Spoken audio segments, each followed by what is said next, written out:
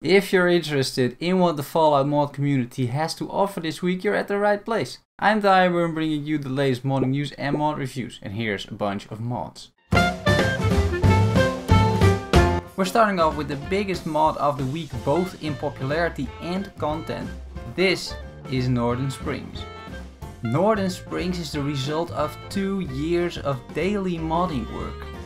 It's a mod the size of a DLC, over 25 quests, 4 jobs, 4 new followers which are completely voiced as well, 3 settlements, 2 player homes and tons of new locations, weapons and armor. This is massive guys. It's a DLC, completely free, but if you want to download it, play it and endorse it, consider paying the mod author Modular Illusions some cash for the hard work. It's these kind of mods that add hours upon hours to your playthrough. And with Fallout 76 coming up, this is the ideal time to start a playthrough and incorporate this mod in your new adventure as well. Another location, be it somewhat smaller, is the Mad Factory by American Weirdo. This location can be found in the northeastern part of the map, and in true Fallout style there are some experiments that went wrong. This time it is the mad scientist Dr. Disaster who tried to create an army full of robots, but of course things went south and now the robots are rampaging about in and around the building. American Weirdo really put a bunch of robots in and clearing this won't be an easy task. It's sort of a gauntlet, although the building isn't designed in a linear way, so you have various rooms to explore. It's not all too serious this mod, but if you want a challenge, some robot scrap or if you just love to fight robots, this mod is worth checking out. Also, not all that serious is the Keyser Model Special by Shoeburglar. I'm featuring a video here from TrollenBros, which is a hilarious channel I recently discovered. He did an in-depth and very funny review of this mod, so I'm not gonna use my own material. This is full credit to him. I mean this as a compliment when I say it reminds me a lot of MXR, but the humor is more witty and less sexist. About the mod, it's a small joke, displacing the barrel on a gun. But it triggers some hilarious in-game action, especially when you toggle the mod to feature this on all enemies. If you wanna know more, just check out TrollenBros video, I'll put the link down below. Interested in more guns? Here is an M60 machine gun. The American M60 originated from 1957 and it was derived from the German MG42. It mainly saw use in the Vietnam Wars and these days it is largely phased out in favor of the MG240, which proved superior in various comparison tests conducted by the American Army in 1995. Given that the Great War in the Fallout universe started in 2077, it's not that likely that the M60 would still be around by that time. But even these days the machine gun is still in use by some countries and for example the Coast Guard apparently. Should the M60 still be around however, you can kill some robots with it or whatever you like really.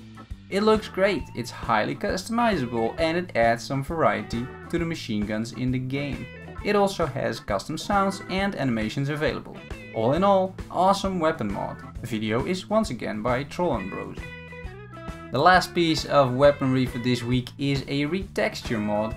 This time a retexture of the missile launcher by dpillari.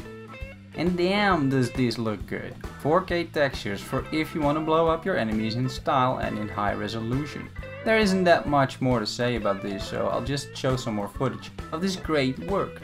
Look at the details, how clear the symbols and text are. It's gonna be a blast playing with this.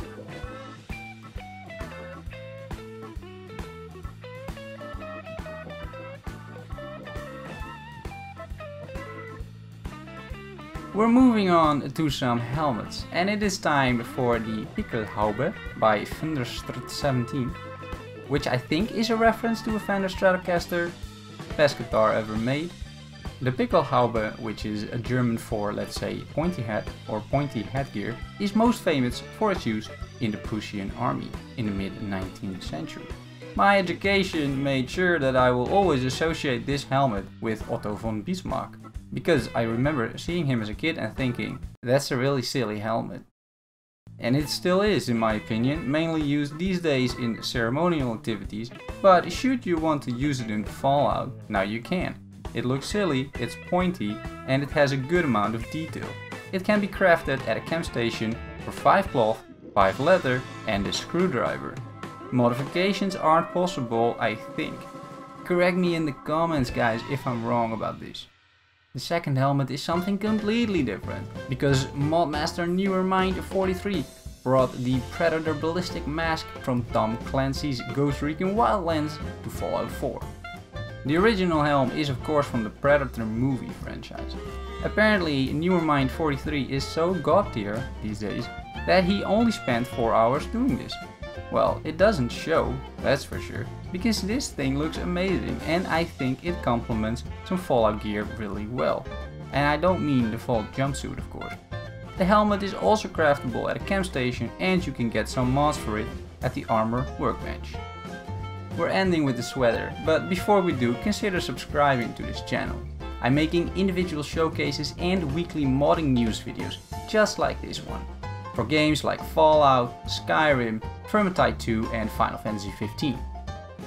Now back into the game, to the sweater. This is Dave's sweater, which also comes with pants. It's craftable at the camp station and then can be modified and colored at the armor workbench. I chose a yellow and zebra outfit because zebra.